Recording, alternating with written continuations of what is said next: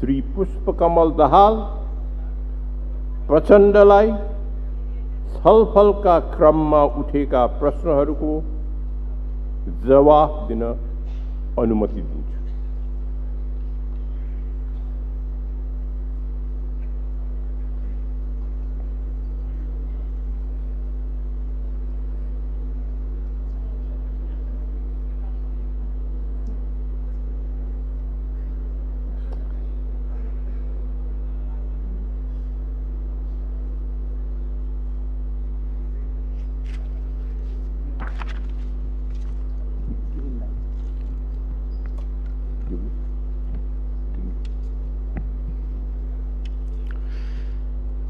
सभामुख महोदय आज यो गरिमामय सदनमा प्रमुख राजनीतिक दलहरूदेखि स्वतन्त्र सांसदसम्म जुन विचार भावनाहरू व्यक्त भए त्यसले मलाई निकै नै गम्भीर बनाएको छ। एकातिर मैले प्रमुख प्रतिपक्षको तर्फबाट पनि विश्वासको मत प्राप्त गर्ने र स्वतन्त्र सांसदहरूसम्म आउँदा सबैले पनि विश्वासको मत र सिङ्गै हाउस हुन त हिजो मैले सदनबाट बाहिर निक्लिँदै गर्दा पत्रकारहरूको समूहले घेरेपछि के हुन्छ विश्वासको मत के हुन्छ भनेर सोध्नु भएको थियो। मैले सिङ्गै हाउस विश्वासको मतको पक्षमा हुन्छ भनेको थिएँ। मैले यो जानकारी भएर त भनेको थिइनँ। मेरो आफ्नो विचार र भावनालाई मेरो चाहनालाई मैले व्यक्त गरेको थिएँ।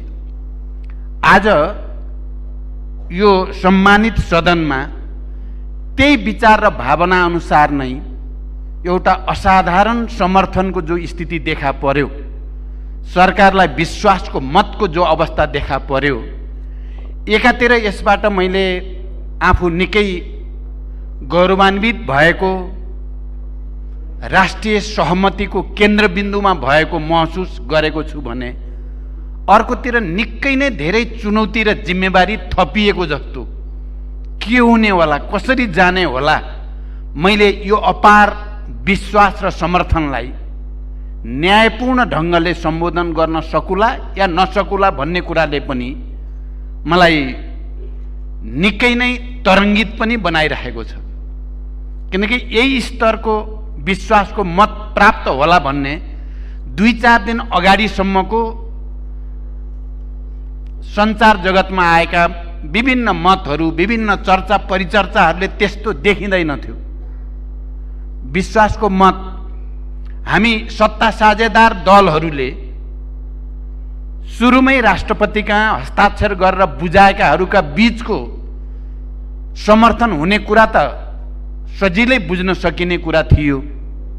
तर प्रमुख प्रतिपक्षी दल र अन्य सबै दलहरू झन्डै सबै दलहरू दुईवटा मजदुर किसान पार्टी र राष्ट्रिय जनमोर्चा छोडेर बाँकी सबैको नै समर्थन हुने कुरा त्यसरी सोचिएको कुरा थिएन। त्यस कारण यो एकातिर यसले आउने दिनमा हामीले जनताको अगाडि गरेका प्रतिबद्धताहरू मैले यो सम्मानित सदनमा आज बिहान प्रस्तुत गरेका प्रतिबद्धताहरू कार्यान्वयनमा निकै ठुलो अवसर प्राप्त भएको महसुस गरेको छु भने अर्कोतिर यो विश्वासलाई सही तरिकाले व्यवस्थापन गर्ने कुरा न्यायोचित तरिकाले यसलाई अगाडि बढाउने कुराको निकै ठुलो जिम्मेवारी मेरो काँधमा रहेको मैले यो जिम्मेवारी बोक्न सक्ने हो कि होइन? किनकि यो सहज र सही ढङ्गले त्यो जिम्मेवारी वहन गर्दा त एउटा नयाँ इतिहास केही मान्य सदस्यहरूले भन्नुभयो नयाँ इतिहास नै बन्ने कुरा पनि छ। यदि त्यसलाई सही तरिकाले व्यवस्थापन सम्बोधन र न्यायोचित किसिमले त्यसलाई अगाडि बढाउन सकिएन भने त्यो निकै अप्ठ्यारो कुरा पनि हुनसक्छ त्यस कारण यसलाई मैले एक पक्षबाट मात्रै होइन सबैतिरबाट विचार गर्दा मैले समग्रमा यो मैले जे अपिल यो सम्मानित सदन समक्ष विभिन्न राजनीतिक दल र नेताहरूकोसँग गरेँ त्यो अपिलको निकै नै सकारात्मक र उत्साहवर्धक जवाब प्राप्त भएको छ। म सबै राजनीतिक दलका नेता साथीहरू सबै मान्य सदस्यहरू सबैलाई हार्दिक आभार र धन्यवाद व्यक्त गर्न चाहन्छु। मैले यहाँ अहिले धेरै लामो भाषण गर्नु छैन। मैले भन्नुपर्ने कुरा गर्न सकिने कुरा भनि नै सकेको छु।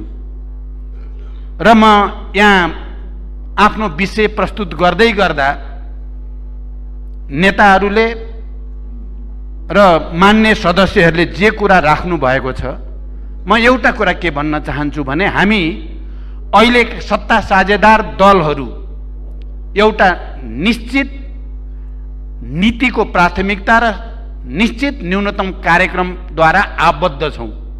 हाम्रो एकताको आधार हामीले निर्धारित गरेको नीति र साझा कार्यक्रम नै हो।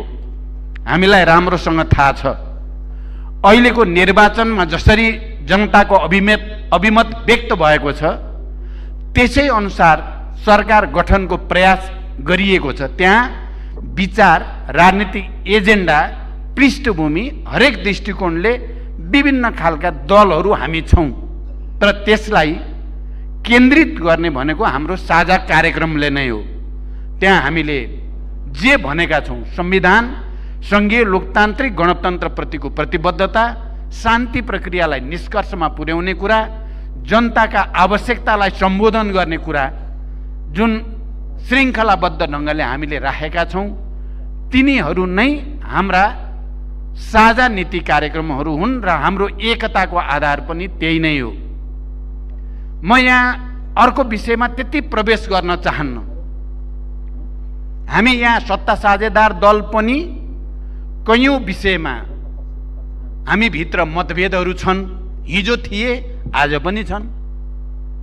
सत्ता साझेदारभन्दा बाहिर भएका दलसँग कैयौँ विषयमा हिजो सहमति थियो आज पनि छन्। त्यसकारण मैले अहिले यहाँ संविधानको कुरा जसरी उठ्यो हामी सबैलाई थाहा भएको कुरा हो संविधान राष्ट्रको राज्यको मूल कानुन हो। दुई हजार बहत्तरको संविधान हामीले निकै धेरै जटिलता र अप्ठ्याराहरूको बिचबाट अहिले भएका प्रमुख राजनीतिक दलहरूकै सहमति र समझदारीबाट बनाइएको संविधान हो। र यो संविधान कार्यान्वयन गर्ने कुराप्रति हाम्रो गम्भीरता हाम्रो प्रतिबद्धता कायम छ र अहिलेको सत्ता साझेदार पनि हामी संविधान कार्यान्वयन गर्ने कुराप्रति सङ्घीयता कार्यान्वयन गर्ने कुराप्रति शान्ति प्रक्रियालाई टुङ्गोमा पुर्याउने कुराप्रति र जनताका आवश्यकता र चाहनालाई सम्बोधन गर्ने कुराप्रतिको सहमतिको आधारमा बनेको छ। हिजो सदन विघटन गर्नु सही थियो थिएन। यो अहिले हाम्रो सत्ता साझेदारभित्रको विषय होइन। यो हामी सबैलाई थाहा भएकै कुरा हो। संविधान हामीले जति बेला संविधान सभाबाट संविधान बनाउँदै थियौँ हामी सबैले विगतका विघटनका अनुभवहरू त्यसले के कस्तो भयो भन्ने कुराको समीक्षा हामी सबैले गरेकै हौँ। र आउने दिनमा सदनलाई सर्वोपरि बनाउने कुरामा हामी सबैको सहमति थियो नै। भोलि संविधान संशोधन गर्ने कुरा संविधानलाई परिमार्जन गर्ने कुरा त्यसलाई नयाँ ठाउँमा पुर्याउने कुरा हुन सक्दछ। तर बहत्तरको संविधानले जे अङ्गीकार गरेको छ संशोधन नहुँदासम्म परिवर्तन परिमार्जन नहुँदासम्म त्यसैको मर्म र भावना अनुसार अगाडि बढ्न हामी सबै प्रतिबद्ध छौँ। मैले प्रधानमन्त्रीको हैसियतमा सत्ता साझेदारहरूको न्यूनतम कार्यक्रमका आधारमा पनि मलाई संविधानको मर्म र भावनाभन्दा कहीँ कतै दायाँ बायाँ गर्ने छुट छैन। म त्यो संविधानको रक्षाको निम्ति अन्तिम समयसम्म प्रयास गरिराख्ने प्रतिबद्धता यहाँ व्यक्त गर्न चाहन्छु। यहाँ बहुदलीय प्रतिस्पर्धा संसदीय प्रक्रियाबारे धेरै कुरा उठ्यो। प्रमुख प्रतिपक्षी दलका नेताले केही सैद्धान्तिक व्याख्या गर्नुभयो। संसदीय लोकतन्त्र अन्तर्गत प्रतिपक्षको भूमिका प्रमुख प्रतिपक्षको भूमिकाको सैद्धान्तिक व्याख्या गर्दै तर आजको परिस्थितिमा समर्थन गर्ने कुरा गर्नुभयो र हामी सत्ता साझेदारका प्राय सबै हाम्रो सत्ता साझेदारका प्रमुख दल नेकपा एमालेका अध्यक्ष पूर्व प्रधानमन्त्री केपी ओलीजीदेखि सबैले त्यसलाई स्वागत नै गरेको मैले महसुस गरेँ। यद्यपि त्यहाँभित्र प्रश्नहरू मानिसहरूले उठाउन सक्छन् उठ्न सक्छ। तर मैले बुझ्दा यसलाई सकारात्मक ढङ्गले नै बुझेको छु। मैले बिहान अपिल गर्दा पनि यस सम्मानित सदनमा मान्य सदस्यहरूको सामु त्यो कुरा राखेको थिएँ। म आफै प्रमुख प्रतिपक्ष दलको नेता थिएँ। सुशील कोइराला सरकारको प्रधानमन्त्री हुनुहुन्थ्यो। म प्रतिपक्ष हुँदा हुँदै पनि म तपाईँलाई समर्थन गर्छु र हरेक तपाईँको यो आजको देशको विशिष्ट समस्या समाधानमा तपाईँको पहलमा मेरो साथ हुनेछ। भनेको थिएँ मैले र मैले त्योभन्दा बढी अहिले प्रमुख प्रतिपक्षी दलको नेताले विश्वासको मत दिएको कुरालाई त्योभन्दा बढी म बुझ्न पनि चाहन्न त्योभन्दा बढी व्याख्या गर्न पनि चाहन्न।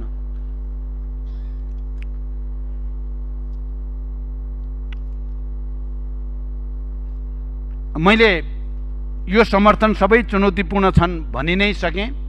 अरू यहाँ बोल्ने अन्य तमाम मान्य सदस्यहरूले सकारात्मक ढङ्गले केही कुरा उठाउनु भएको छ त्यसप्रति मेरो गम्भीर ध्यान आकर्षण भएकै छ। अब केही साथीहरूले संविधानमा व्यवस्था भएको स्वायत्त प्रदेश संरक्षित प्रदेश स्वायत्त क्षेत्र संरक्षित क्षेत्र र विशेष क्षेत्र कार्यान्वयनको बारेमा कुरा उठाउनु भएको छ।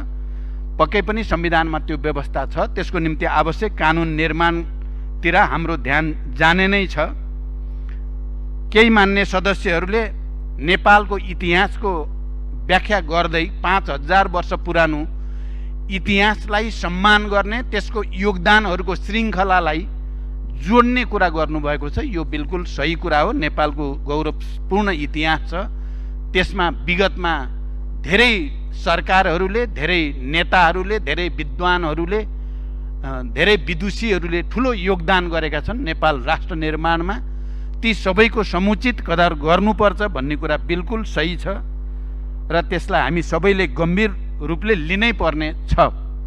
र त्यसको साथै विकास निर्माणसँग सम्बन्धित जे जति सुझावहरू र टिप्पणी राख्नु भएको छ ती स्वागतयोग्य छन्। म ती सबैलाई आत्मसात गर्न चाहन्छु।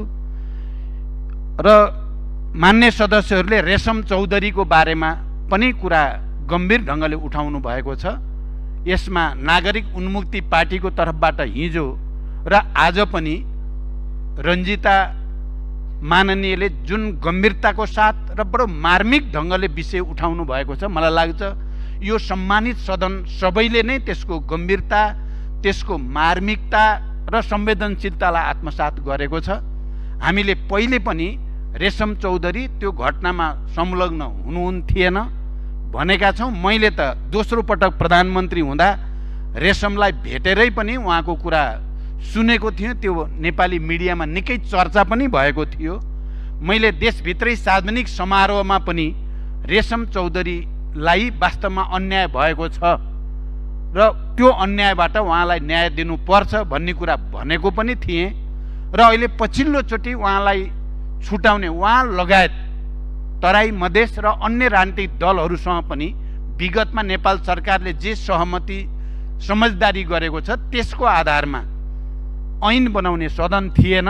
त्यस कारण अध्यादेश बनाएर भए पनि रेशमजी लगायत अरू साथीहरूलाई छुटाउने वातावरण बनाउनु पर्छ भनेर पहल कदमी गरिएको थियो। तर त्यो अब त सदन सुरु भयो र यही सदनबाट नै सही विधेयकद्वारा कानुन सम्मत ढङ्गले उहाँ लगायत अरू त्यस किसिमले बन्दी बनाइएका सबै नेता कार्यकर्ताहरूलाई छुटाउने वातावरण बनाइन्छ। मैले सत्ता साझेदारहरूको संयन्त्रमा हामीले छलफल गर्दा पनि यसको निम्ति छिटोभन्दा छिटो पहल कदमी लिने कुरा गरिएको छ। त्यसकारण रेशम चौधरीको विषय फेरि अलिकति जटिल भनौँ अप्ठ्यारो अदालतमा मुद्दा भएको कारणले पनि छ। तर पनि हामीले ऐनको समुचित व्यवस्था गरेर उहाँ लगायत त्यस किसिमले अन्यायपूर्ण ढङ्गले बन्दी बनाइएकाहरूलाई छुटाउने पहल सरकारले गर्दछ यो विश्वास म दिलाउन चाहन्छु। अब केही मान्ने सदस्यहरूले थ्रेस होल्डको कुरा उठाउनु भएको छ यो पहिला पनि छलफल चलेकै कुरा हो। उपयुक्त समयमा उपयुक्त तरिकाले यही संसदभित्र नै यो विषयमा बहस गर्न सकिन्छ बहसको वातावरण बनाउन सकिन्छ। नागरिकताको समस्याको बारेमा मैले बिहान विषय राख्दै गर्दा छ महिनाभित्र भनेको छ महिना पर्खिने भनेको होइन। जसका आमा बाबु नेपाली नागरिक छन् उनका सन्तानलाई नागरिकता दिने कुरा अविलम्ब यथाशीघ्र गर्ने र समग्र नागरिकतासँग सम्बन्धित विषयहरू छ महिनाभित्र सक्ने भनेर प्रस्ताव राखेको हो छ महिना पर्खने भनेर प्रस्ताव राखेको होइन। यो कुरा स्पष्ट होस् भन्ने म चाहन्छु।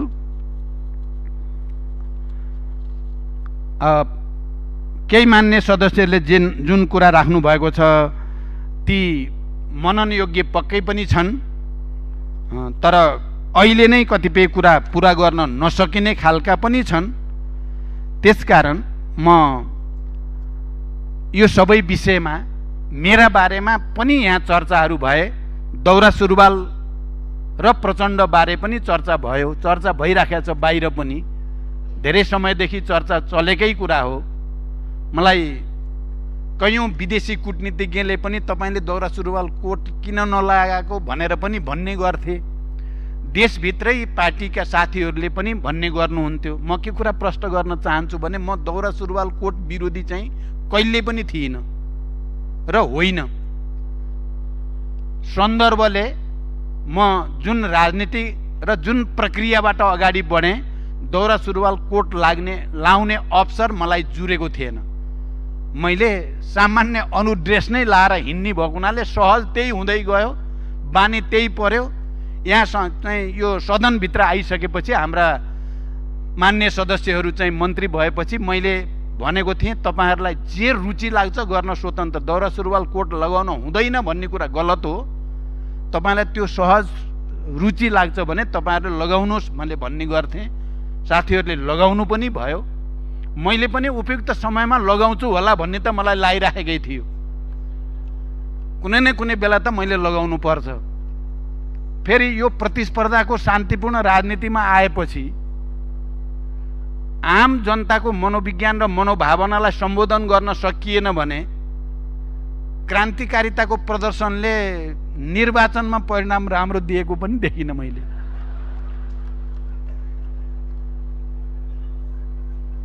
लाउने जतिले जितेका छन् नलगाएकाले हारेका छन् भनेपछि त। अनि अस्ति अब प्रधानमन्त्री मनोनित के अरे हुँदै गर्दा त्यहाँ चर्चा चल्यो राष्ट्रपतिजीले नि भन्नुभयो तपाईँलाई दौरा सुरुवालमा हेर्न मन छ मलाई। अरू सत्ता साझेदार दलले हाम चाहिँ भन्नुभयो हाम्रो केपी ओलीजी रवि लामिछानेजी हाम्रै पार्टीबाट नारायण काजी श्रेष्ठ उहाँहरू नारायण काजीले त पहिलेदेखि लगाउनुहुन्थ्यो। सबैले भन्नुभयो त्यो दिन भोलि त तपाईँ शपथ ग्रहण गर्ने बेला त दौरा सुरुवालै लाउनु पर्यो भन्नुभयो। मैले यही कुरा भने म यसको विरोधी चाहिँ होइन।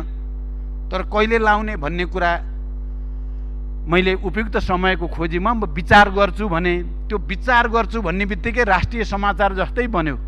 प्रचण्डले भोलि दौरा सुरुवाल लाउने भयो भन्ने प्रचार भयो।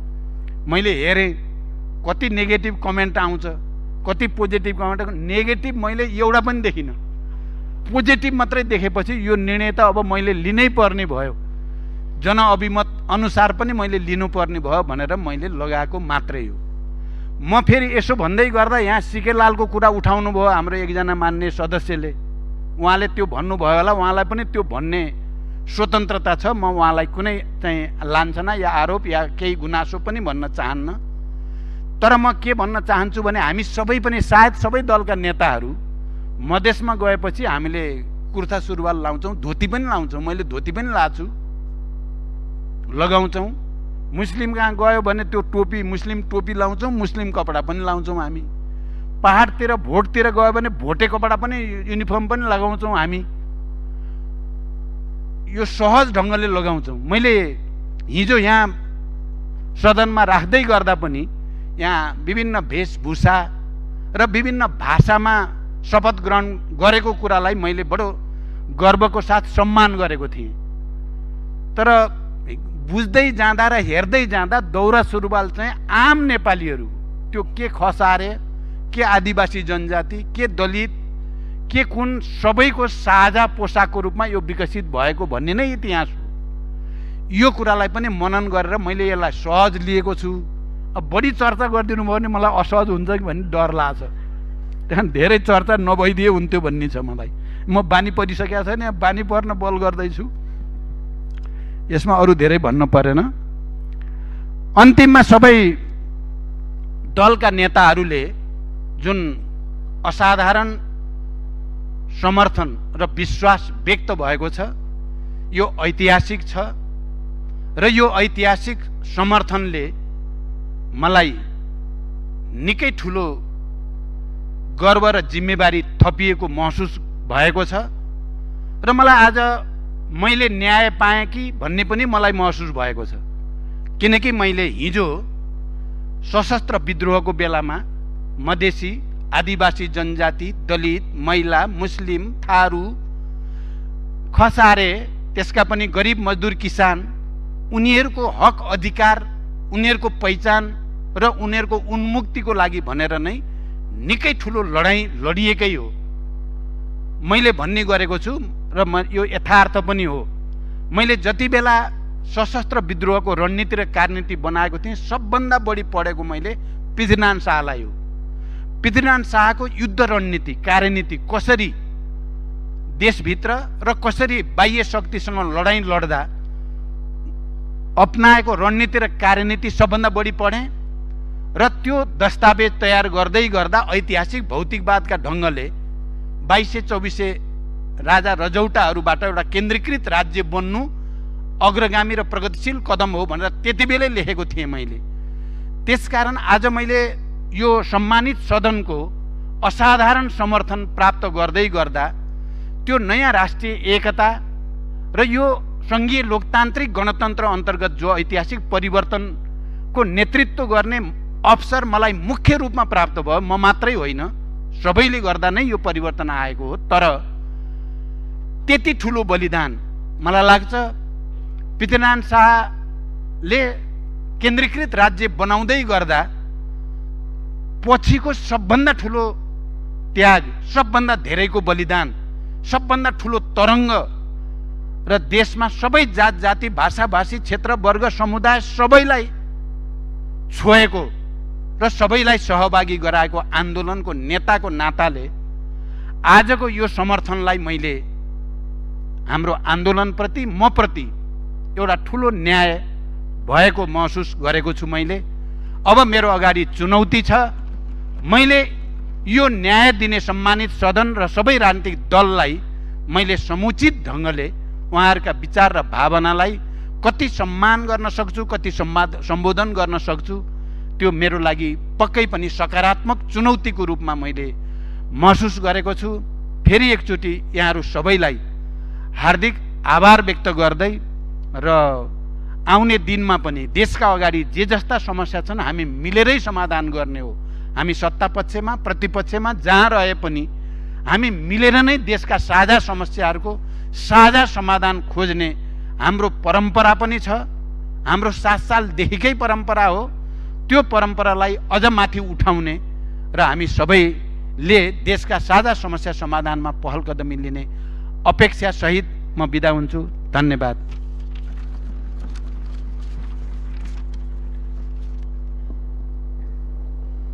माननीय सदस्य